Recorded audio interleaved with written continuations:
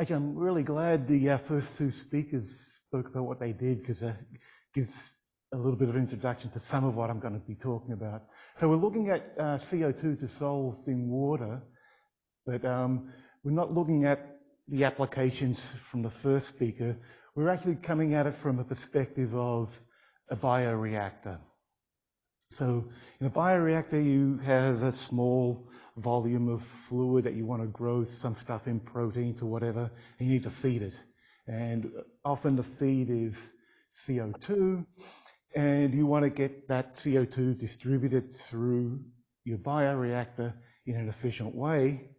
And, you know, the, the industrial way is to put it on a food processor, whack it on full speed, and it mixes very fast, very uniformly, but it also destroys the, the, the stuff you're trying to bioreact and grow.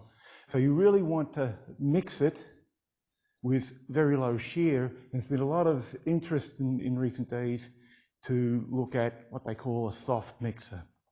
And the perspectives in these soft mixers has been, okay, can we come up with a good Lagrangian mixing strategy for passive scalars. But as we saw in the first talk this morning, CO2 dissolved in water isn't a passive scalar.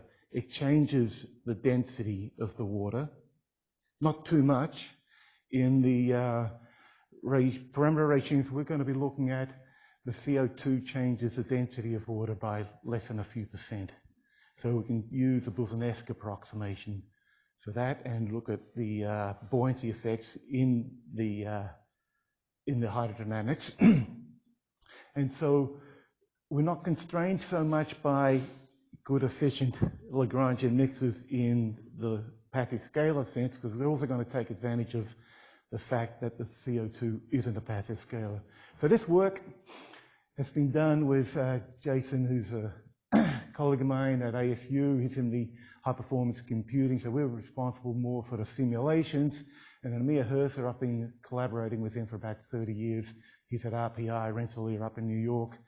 He and his uh, large group of students responsible for the experimental component. So let me give you, let's see if I can get this in. Yeah, an overview. So Amir and I have been working on surfactants which brings in the second speaker's talk this morning, for many years. and uh, we've been interested in sort of characterizing uh, the shear viscosity associated with the surfactants for many years. And this um, knife edge viscometer setup is what we're going to use for this model bioreactor. So what it consists of is a stationary cylinder, here's a schematic, stationary um, cylinder, radius R, height H. In the experiments I'm going to be showing you, R and H are both two and a half centimeters. Completely filled with water to the rim. Everything's very carefully machined so that the interface stays flat. he lays down a monomolecular film of surfactant. In, in this case here, we're using an insoluble surfactant, stearic acid, which happens to have a well-characterized excess surface shear viscosity associated with it. And in bioreactors, part of the uh, byproducts are often surface actives, whether they're proteins or whatever, they come to the surface, and so we, we're using this well-characterized, well-controlled stearic acid monolayer as a model for that. And, and a lot of people think that that's a uh, design fault, but we're going to use it as a to our advantage. And once that monolayer is laid uniformly, constant, um, constant surface concentration, so there's no Marangoni effects, like we was told about in the first talk, they very carefully bring down this cylinder with a sharp edge here, the knife edge, and that has to be very carefully machined to just come into contact with the gas-liquid interface. And once that is done, it is set in motion to rotate at a constant rate, omega radians squared, uh, radians per second. Now, if the monolayer wasn't there, we just had pure, clean air-water interface, just the liquid that's in contact directly with the knife edge would move and not much else. And you just get a little bit of circulation there, but not much else. With a viscous monolayer, what happens is that it's viscously dragging the whole interface with it. And so inside the knife edge, so you know, this is the axis of symmetry, the azimuthal velocity is zero by symmetry, and here it's rotating at whatever rate the thing is. If it's very viscous, it ends up having a azimuthal velocity that goes proportional to r. So it's basically solid body, like you would get if you had a, a rigid lid disk rotating.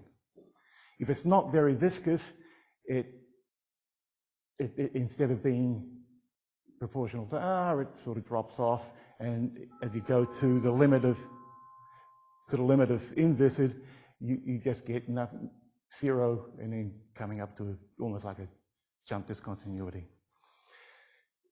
The concentration gradient, uh, the concentration of stearic acid we're using is not too high, so it's not quite solid body in here. It's it's slow, but it's rotating. Out here, you get the opposite, right? It's rotating fast and then decreasing all the way to zero.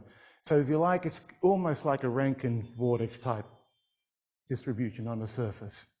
And what that does then is that you've got angular momentum coming off of here, looping around. And so that means you've got axial gradients in angular momentum. And those axial gradients in angular momentum drive an azimuthal component of vorticity, which gives you a large scale overturning flow. And so this whole volume of liquid is overturning. And it's driven by the monolayer. So that sounds like it's going to mix stuff through here. Yeah, sleep. Now, if this rate of rotation is not too fast, this 3D flow stays axisymmetric and reaches steady state in some fraction of the viscous time. You know, water and uh, I'm going to use the uh, radius of the knife edge, about half of the radius of a cylinder, so one and a quarter centimeters. The viscous time in this setup is about just under three minutes, 173 seconds. So this is what we did back a few years to sort of characterize a, a bunch of different monolayers to, to measure their surface shear viscosity. What we're doing now is instead of having just air everywhere, we're going to replace the air in this part of the chamber by carbon dioxide, which we flood out and bring it up. In the experiment, they bring it up to one atmosphere. And in here, it's just air. This is all sealed. And you end up getting some surface concentration of CO2, which is pretty much fixed. And then the question is, okay, so how does that mix? If this is steady axisymmetric flow, then the gas that gets dissolved up here is just going to follow the outer stream surface as it follows around. And you're not going to get great mixing because it's still going to be diffusion limited. So let's see actually what happens in the experiment. So in the experiment, this flooding is done by these three big diffusers, which they pump in a whole lot of CO2 to displace the air, and, and they get the CO2 to one atmosphere before they start rotating the lid. And then to actually see what's going on, because you can't see CO2 dissolved in water, soda water is just, just as clear as pure water. So they introduce um, dye at a couple of ports out here In retrospect, this is not the best place to put it, as we found out after we did the simulations. But anyway, they introduced dye here and here, introducing dye, very dilute fluorescein dye, 20 parts per million, at a very slow flow rate, some very small fraction of the velocity of the knife edge, so it's not to disrupt stuff. But nevertheless, it changes the volume. So to keep this interface flat, they extract the same volume of bulk water through these two ports here. Because we really want to keep this interface flat so we can actually characterize what's going on very carefully. So let me just show you experiment. So this is just with air. And this is where we had the uh, outer part of the chamber replaced with CO2 at one atmosphere. Everything in these two experiments is the same except for the gas outside. So the Reynolds number characterizes the ratio of the viscous time scale, the radius of the knife edge squared divided by the kinematic viscosity, and the inertial time scale, one on how fast the knife edge is rotating. We're keeping that in the experiment and also in the simulation I'm going to show you at 600, which is small. Anything below about 1500, this flow without the CO2 remains steady and axisymmetric once it's spun up in some fraction of the viscous time. The uh, buoyancy effects of the CO2, characterized by the Grashof number, instead of a temperature gradient, I'm going to use the concentration of the CO2 at the interface compared to zero concentration elsewhere. So that's this Grashof number, and that's about 9300 very approximately because the coefficient of volume expansion is not well known for CO2 in water. It's got an uncertainty of about 25%. So I'm going to be messing around looking at what the effects of different Grashof numbers are because of that primarily. The Schmidt number, how diffusive the CO2 is in water compared to kinematic viscosity, is large. It's 500. So there's a viscous time, this is about three minutes. The diffusive time scale for CO2 in water is 500 times three minutes. Hours, two and a half hours or so. All right, so, and as I said, you know, the aspect ratios are 2, 2, and so forth. All I want to point out about these experiments is that everything's the same except no CO2, CO2, and there's obviously a difference. And can we characterize what that difference is due to? All right, so some model assumptions. so we're going to assume that what happens at the interface because of the CO2 become equilibrates straight away. And that concentration of CO2 at the interface is equal to the partial pressure of the gas in the experiment is one atmosphere times Henry's constant for uh, CO2 in water. That's going back to the 1800s from Henry. So that t- tells us how much with CO2 we have at the interface. Like I said, the uh, CO2 changes the density, but it changes it very slightly. So we're going to use a Boussinesq approximation with a linear equation of state. This alpha the uh, bugbear, if you like. It's only known to within about an uncertainty of about 25%, and that impacts how well we know the Grashof number. Uh, so the governing equations, this Navier-Stokes with a buoyancy term, and the advection diffusion for the concentration of CO2, non-dimensionalized using the radius of the knife edge as a length scale, the viscous time as a time scale, and how much concentration I have at the air-water interface uh, to non-dimensionalize the concentration. Because it's axisymmetric, because I'm keeping the Reynolds number sufficiently small, I'm going to rewrite this using a stream function vorticity formulation, where the three components of velocity, which only depend on two spatial variables, the radial and axial, and time, can be written in terms of the angular momentum, right? So the angular momentum is just r times the azimuthal velocity, and then the derivatives, the various derivatives of the stream function. So the azimuthal flow is all governed by the angular momentum. The meridional flow is described by the stream function. Take the curl of that, and now the meridional flow is all in the azimuthal component. This is the azimuthal component of vorticity, which drives the meridional flow. And the other two components of vorticity are given by the azimuthal, the angular momentum. So we're going to plug all of this into our governing equations.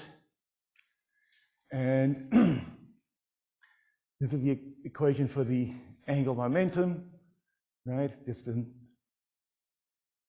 total derivative, of how it affects and how it diffuses. Same with the concentration, how it's advected and how it diffuses. The interesting thing is the azimuthal vorticity. This is governing the overturning flow, which I want to get my gas to mix with. And so if I start off with no azimuthal vorticity, eta equals zero, that's all gone, that's all gone. And the only change in azimuthal vorticity then is due to two fundamental effects. One is vortex line bending. If you have any axial gradients in the angular momentum, right, then the vortex lines are not vertical, they're bent. They can't be bent just radially, they get bent with an azimuthal component, right? So axial uh, gradients of angular momentum generate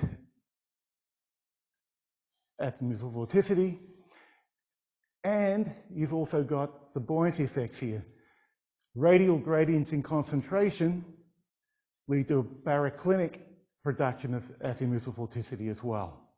And these two ways of producing azimuthal vorticity compete. And it's that competition that's going to give me my good mixing. All right, so the boundary conditions, I've been told five minutes, so I better hurry up. It's basically just no slip, and I have no flux of CO2 through the solid walls, through the floor or through the side. And on the axis, I have symmetry conditions. And then at the knife edge, on the top right at the tip of the knife edge, I basically have no slip again, right? So the angular momentum is given by how fast it's going around. and there's no flux through the knife edge.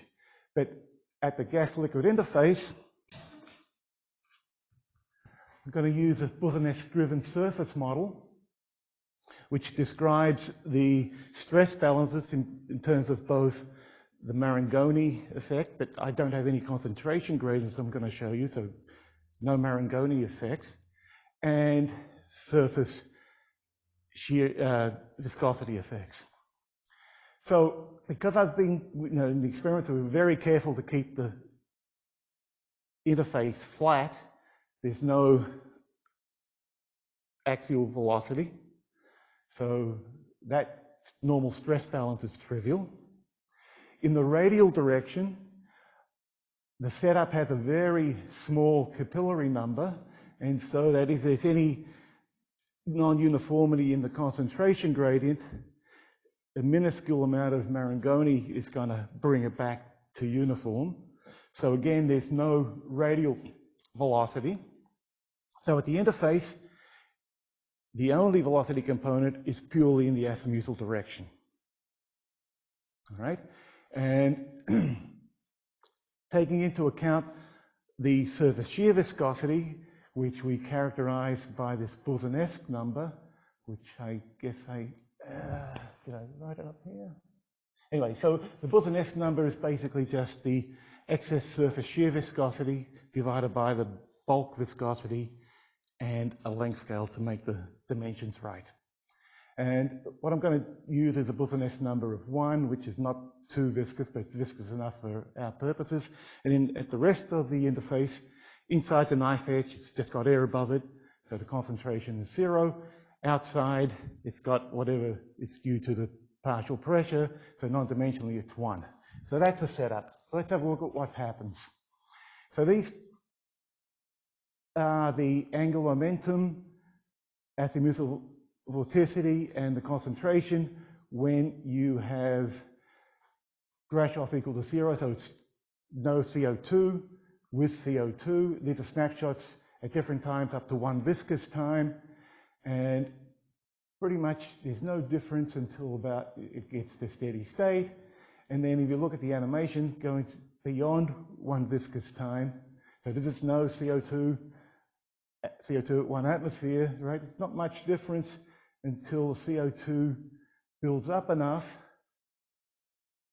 And once it builds up enough, uh, you've got a, a big enough radial gradient, you've got the baroclinic production of azimuthal vorticity that competes with the azimuthal vorticity from the angular momentum axial gradients. And you get unsteadiness. It breaks this transport barrier because now you no longer have steady closed streamlines and you get mixing. And it mixes in a very interesting way. So, you know, you can look at Lagrangian mixing of passive scalars, right? And so this is experiments from Escudier in 84 or something, and then he, we, we simulated his uh, problem. So this is a very similar thing. So it's a completely filled cylinder, just water. Here the bottom's rotating. You can flip it on the top if you want to get a bit of perspective. And once the, uh, the Reynolds number, how fast the floor is spinning, gets above about 2500, the steady flow becomes time periodic. And so instead of having um, fixed points, hyperbolic fixed points that have separatrices, the unsteadiness makes the stable and unstable manifolds of those not coincide. So you've got the uh, horseshoe map basically. So this, these are just snapshots. This, this structure is pulsing like a swimming jellyfish, and each period, this lobe maps to this lobe, this lobe maps to this lobe. Here, I'm coloring the uh, numerical dye that I'm releasing with age, so the colors map to age. So new dye is blue, really old dye is bright red, and you can see very good mixing in some regions, but absolutely no mixing where you've got these transport barriers. These are basically KAM tori. And so this is a snapshot taken from the central part of the cylinder. If you release dye away from the central region, you've got a closed streamline in the steady state. In the unsteady state, that closed streamline breaks up into hyperbolic and elliptic fixed points, which also give you this chaotic sea that is well known from effective mixing. The problem here is that you need to crank up the Reynolds number a lot to get the mixing, right? We don't. We want to be well below that 2700, around 600. In, in passive scalar, it'd be steady, lousy mixing. So, so here's the, the nominal experimental Grashof plus or minus 25%. What happens over many viscous times. To characterize the mixing, we have a look at the spatial mean of the concentration. It's growing, and its standard deviation, right? So the standard deviation is also growing because initially it's all concentrated along the outer things. And it's not until the gradients become large enough, you get this unsteadiness now induced by the um, baroclinicity. If you look at it uh, over a bunch of different Grashof numbers, the angular momentum and the vorticity basically don't show any temporal variations unless you really squint hard and look in here. Here are the concentration gradients. You can see these oscillations start off at very early times for larger Grashof numbers, and at later and later times as you decrease the Grashof number. But so these are high frequency, and then these lower frequencies, if you see it's oscillating, then bang, an inner transport barrier is broken. And then you get more gas in there, and bang. You can look at the uh, coefficient of uh, variation as the ratio of the standard deviation to the mean, and early times, the flow across all of these Grashof numbers is independent of Grashof. It scales with a, this is a slope of minus a half. It's all dominated by viscous diffusion until you get the baroclinicity causing the unsteadiness. And if you rescale time with the Grashof number, that all collapses and that's all baroclinic mixing, enhancing to a slope of minus one. All right, if you scale up the problem by cranking up the Grashof number by an order of magnitude, okay, mate, you could think of that as 10 times larger um, partial pressure, but you can keep the partial pressure and just scale the size of your, of your experiment by a factor of roughly two. And now the baroclinicity kicks in much earlier and you get really fantastic mixing. I'm going to leave this on while I entertain questions. Thank you very much uh, for this great talk, and I'm sure that uh, there are, are there any questions? Yep, let's take. This is more informational, but my understanding is you, you'll have velocities in all, all three dimensions. In all three directions, that's right. So you're imposing one in the azimuthal direction. You're imposing a velocity in the azimuthal direction. Yeah, the, the, the knife edge is just rotating. and- That's and right. the- And the velocities in the R and Z directions are developing from these forces? Yes, uh, yeah, you get angle, you know, vortex lines coming off of the edge of the knife edge. They can't terminate in the interior. They have to come up to the surface. If that surface is inviscid, it comes up very close, and the overturning is just really small. If it's viscous, because of the viscous coupling, the whole interface is rotating, and so those vortex lines come in at different regions, and you get large-scale overturning. It's, it's that vortex line bending that's driving the hydrodynamic overturning. Um, thanks for the really fascinating talk. Um, what is the Reynolds number associated with the flow that develops after the black baroclinic instability? Is it obvious that that's still small?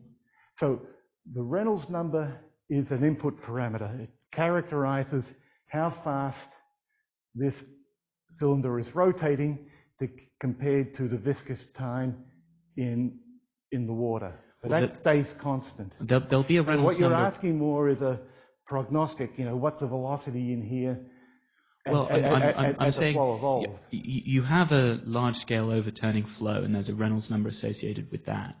And that overturning flow is setting up a, a, an instability, and that instability relaxes, and that generates a velocity field, which isn't the same velocity field that you imposed stirring your knife. So it needn't have the same Reynolds number.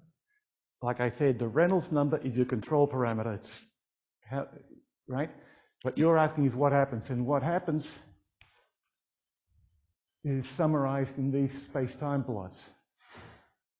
Right. Yes, I'm, I guess I'm wondering.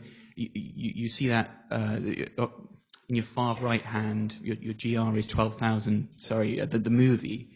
The- Yeah. The evolution that what prompted the question was that the evolution looks much faster than the uh, So this is the, the, the, this increasing is the CO2. time this relative is, to the this is the CO2. And yes, there's lots of interesting time variations. The flow hardly changes. Once it reaches uh, uh, viscous time, it hardly has any effect, right? Yes, if you squint really hard, you can see some very faint variations, but it's minuscule. And they, they're driven by these oscillations, but there's very little feedback. So if you're asking what the Reynolds number would change because of this instability, some fraction of a percent. Right, and, that, and that's why I put these space-time diagrams here, right? It doesn't change with time. more than some fraction of a percent. But the mixing is dramatic. That's the point. I think we have lots of room for discussion during our coffee break and so on. So I would like to take this take this opportunity to thank all the speakers from our first section, Flutes in realistic um, uh, Environments. So let's thank last